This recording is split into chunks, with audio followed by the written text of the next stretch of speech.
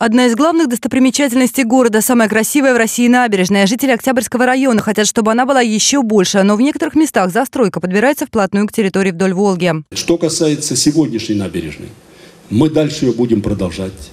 Мы сделаем еще э, более километра, почти полтора километра благоустроенной набережной. Строиться ничего на набережной не будет. Не будет. Э, это запрещено федеральным законом.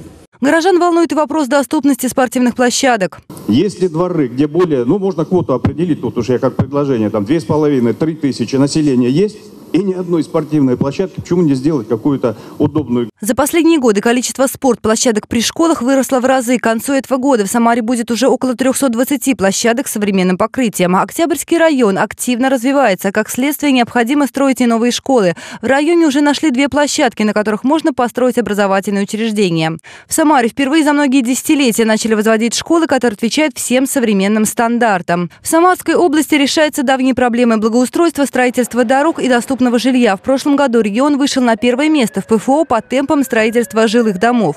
Одним из любимых мест отдыха в Октябрьском районе стал сквер мира вдоль Московского шоссе, построенный в прошлом году. Это действительно, вы знаете, я думаю, что это сейчас не только гордость этого района, э, в котором очень любят гулять наши граждане, но гордость нашего города. Потому что все, кто заезжает по Московскому шоссе, это центральная трасса, они видят эту красоту. Спасибо вам э, за огромную работу в Самарской области, за преобразование нашей территории.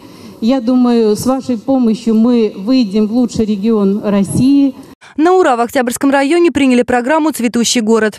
Мы, жители Октябрьского района, в этом году участвовали.